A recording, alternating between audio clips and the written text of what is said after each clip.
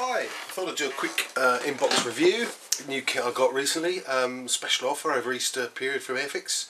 I think it was something like ten ninety nine. So um, I thought, oh, okay, we'll have one of those. Um,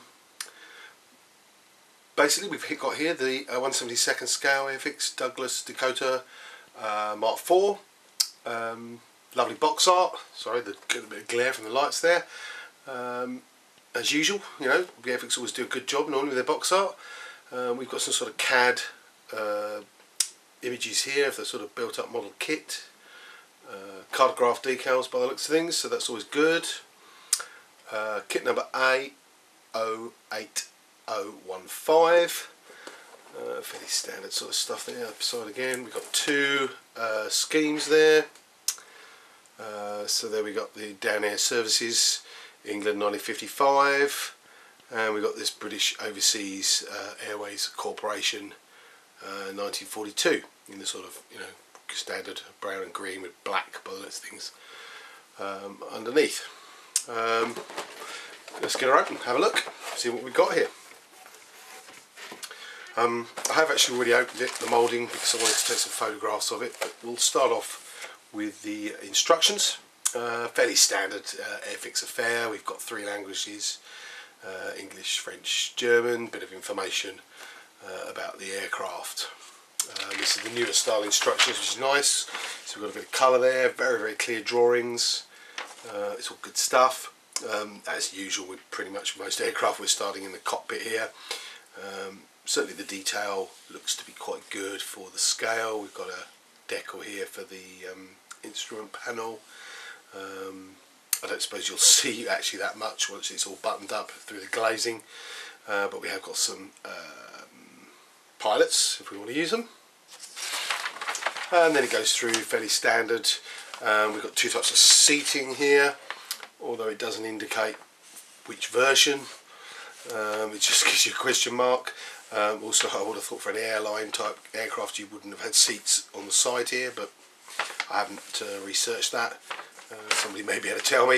Um, but then it goes together fairly quickly by the looks things. Sides come together under the wing there. Uh, the rest of the wings, then we go on to the sort of engines, uh, you know, various flaps, uh, horizontal stabilizers, etc. What's nice, obviously, here we've got movable. We can position the flap, positionable flaps, which is always a good thing. So that's nice. Through, put the engines on there, wheels. Uh, looks like we can have them, yeah, we can have it in flight or down, which is good. Again, I say lovely clear pictures of the assembly, which is nice. Uh, another good thing here is the glazing actually goes in after. Um, so for painting, you can obviously get it all painted up, uh, and then you'll pop in the glazing in. Obviously, there's going to potentially need to be some paint work to be done if you want uh, want to do it uh, on the glazing here but at least you can put them in afterwards which is quite nice. Um, propellers and then we go to colour call out two options as I've already mentioned. Um, we've got the Dan-Air there which is kind of in a sort of silver metallic white red. Should look good as long as we can get a nice finish get a good silver on there should be nice. Um, and then we've got the sort of uh, more standard military colours you know the dark green dark earth uh, black underneath there which is nice. And stencil markings.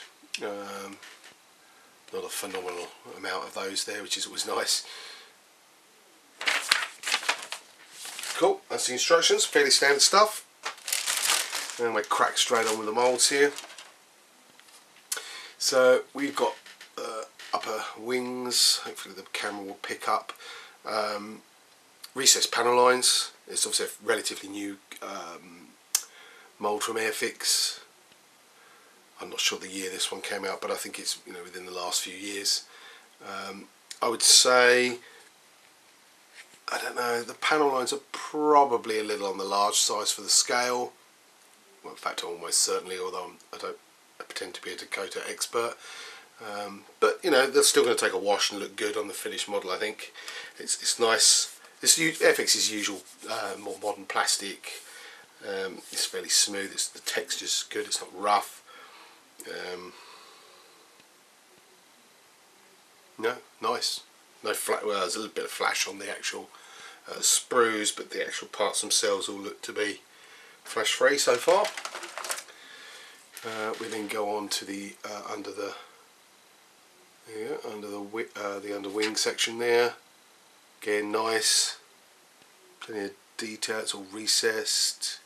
We've then got the main um, fuselage half there. Again, as I say, I think the panel lining is a little bit overstated, especially for this scale, but I think it'll still look good under a coat of paint and some wash.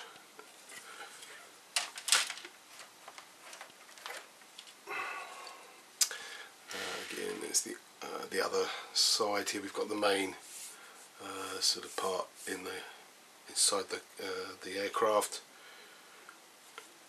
As your various stabilizer, uh, horizontal stabilizers and various bits and bobs there. Uh, lower wing surface there. Again, all appears to be quite clean, crisp, flash free. some nice internal ribbing because uh, of course I think you can you probably can pose the door open. I can't remember the instructions showed that. So you could show certain a certain amount of the interior although I think you're going to have to be a bit careful if you do that because there is some um, injection pins that perhaps are going to need to be filled if you're going to actually open it up. But otherwise yeah all clean crisp no flash nice. Then go on to some of the smaller parts here our two pilots they're fairly look fairly generic. Nothing special there. Um, all the other parts are pretty good. Reasonable engine detail not the best but not bad. Um, again it's all clean. Uh, doesn't seem to be any flash on any of those parts that I can see. So that's nice go on to the last uh, grey sprue um, I've actually got two types of propellers there. Just noticed just so you've got the more pointed and the more rounded ended propellers. Um, again we've got weight on wheels which is nice. So that's always a good thing. Hopefully that's focused in alright there. Again there's a reasonable amount of detail there. Um, and again it all appears to be flash free fairly crisp no real problems there clear parts the first thing you notice here is they are actually very very shiny again, I don't know how well the camera's going to pick that up. I'm coming a little bit closer here. It's alright. But they're very, very shiny, clear parts, which is nice. Obviously, you're not really going to see a massive amount of internal detail through these, I don't think, once everything's buttoned up. But nevertheless, they're quite nice. And last of all, and probably quite important, is the decals.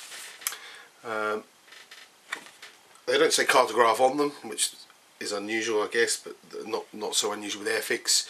Um, they're quite matte, maybe satin, perhaps is the best way to describe them, but they are beautifully um, printed. So look at that, as you can see from the Union Jacks, they're very nice.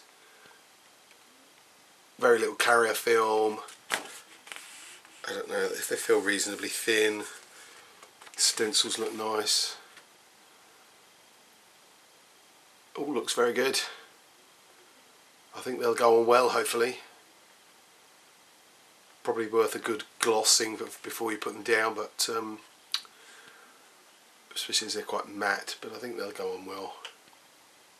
No dramas there at all. Looks like another quite good kit from Airfix. You're building into quite a nice little model.